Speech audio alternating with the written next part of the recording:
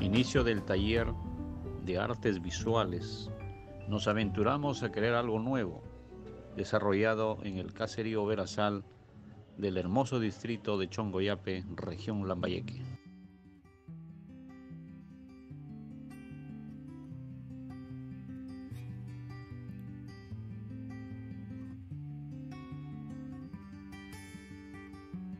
Aquí vemos a las promotoras educativas comunitarias con el empeño que los caracteriza, encontrando nuevas posibilidades creativas con los materiales o recursos de su propia zona para luego ponerlo en práctica posteriormente, claro, con los niños que tienen a su cargo.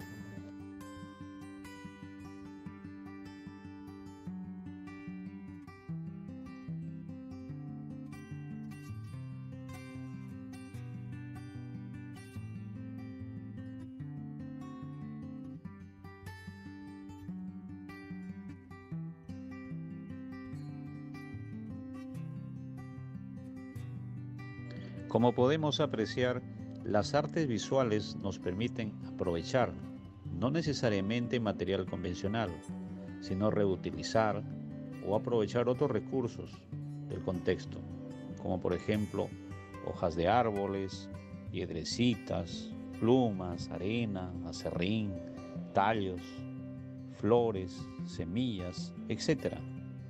Es decir, esto es una experiencia extraordinaria de vivenciar el arte de manera directa.